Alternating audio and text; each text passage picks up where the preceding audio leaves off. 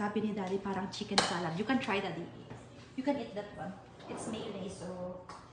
I'm sorry about my nose, guys. Allergy. You can try. It looks like chicken salad. what is it called? Chicken sisig. How it tastes like? A chicken salad. chicken salad.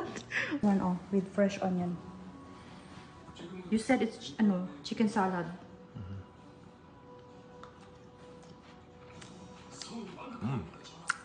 Good. It's not chicken salad.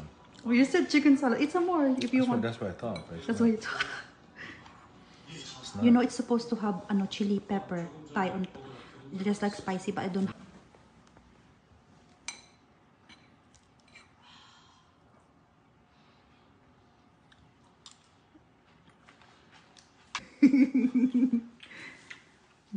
Sabi ni Daddy, anong oras daw kakain?